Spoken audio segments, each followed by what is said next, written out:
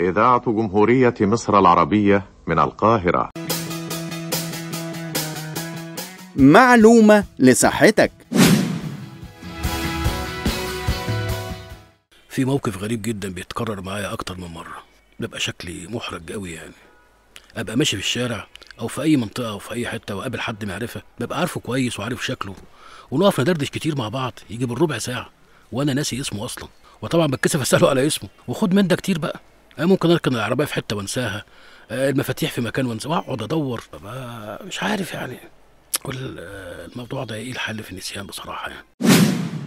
كام مرة قابلت واحد وسلمت عليه في الشارع وممكن تكون وقفت ودردشت معاه وانت ناسي اسمه أصلا؟ كام مرة قبل ما تنزل من البيت قعدت تدور على المفاتيح ونسيت انت حاططها فين؟ كام مرة ركنت عربيتك ونسيت انت راكنها فين؟ كثرة النسيان دلوقتي بقى مشكلة بيشتكي منها كتير من الناس ومختلف الأعمار مش قاصرة على كبار السن بس. ممكن يكون السبب في كده ضغوط الحياة والأعباء والمسؤوليات الكتير اللي ممكن تكون بتشغل الواحد مننا طول اليوم. لكن كثرة النسيان أحيانا بيكون ليها أسباب مرضية زي السكر تصلب الشرايين مشاكل الغدة الدرقية بعض الأدوية أمراض الاكتئاب نقص بعض الفيتامينات شرب المكيفات أمراض الجهاز العصبي. زي باركنسون وألزهايمر. في الحالات المرضية دي بيكون علاج النسيان هو علاج المرض نفسه لكن إزاي نعالج مشكلة النسيان الكتير اللي موجودة عند معظم الناس من غير ما تكون عندهم أي مشكلة مرضية؟ هنعرف بعد الفاصل. لعلاج كثرة النسيان.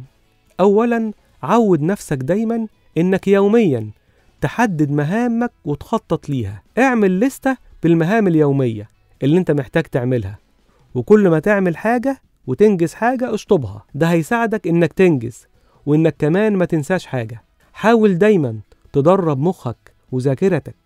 مارس المهارات الفكرية اللي محتاجة تشغيل مخ. لما تداوم عليها هتساعدك كتير في علاج النسيان وعدم التركيز زي مثلا ألعاب الذكاء الشطرنج حل الكلمات المتقاطعة.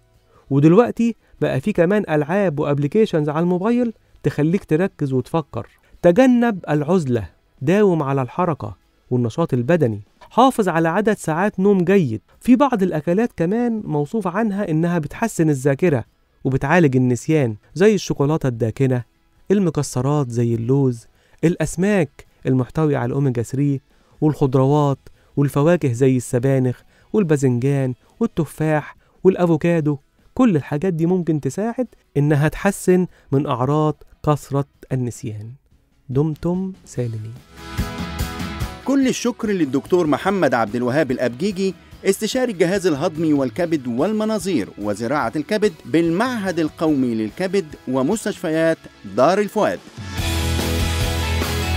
الرقم الضريبي الموحد 542 511 819